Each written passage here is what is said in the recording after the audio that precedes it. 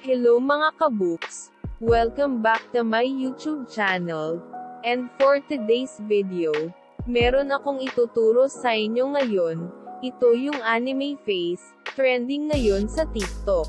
Bago natin simulan, kung bago ka pa lamang sa YouTube channel ko, ay please mag-subscribe ka na at i-click ang notification bell para ma-update ka sa tuwing may panibago akong upload na video.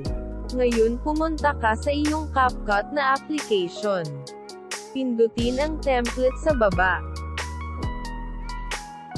Tapos e-search ang anime face edit.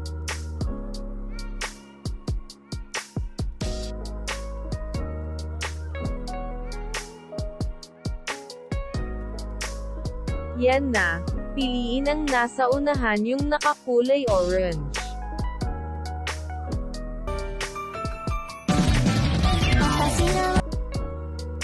At pindutin ang use template.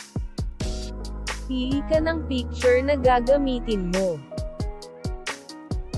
Antay lang, at makikita mo ang result.